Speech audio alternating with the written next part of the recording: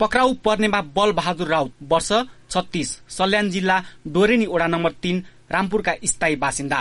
कुमान सिंह थापा वर्ष छब्बिस गुल्मी जिल्ला मुसिकोट नगरपालिका छका स्थायी बासिन्दा। अर्जुन अधिकारी चितवन जिल्ला राप्ती नगरपालिका सातका स्थायी बासिन्दा हुन्। गोप्य सूचनाको आधारमा प्रहरीले उनीहरूलाई आफ्नै कोठाबाटै पक्राउ गरेको थियो। हामीले कसरी आइडिया जेनेरेट भयो त्यो पनि विगतमा छापाखानामा काम गरेको अनि त्यहाँबाट उसको दिमागमा कुरा पार्दा। र यो सामग्रीहरू तपाईँको कतिपय इन्डियाबाट ल्याउने कतिपय यहीँका मार्केटबाट ल्याउने त्यसरी गरेर सबै ठुलो स्केलमा अब यो सामान तपाईँको कुनै पनि सर्टिफिकेट कुनै पनि निकायको उसले बनाउन सक्ने।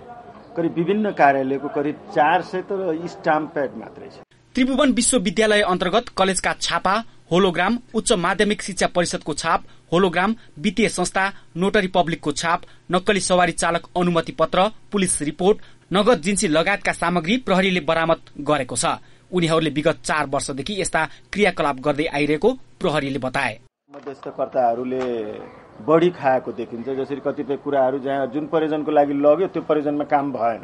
त्यसपछि उसको सेवाग्राहीले भनौँ त्यहाँ गएर कम्प्लेन गर्दाखेरि चार लाखसम्म खाएको देखियो। तर त्यो रेसियोमा उसले लिएको छैन।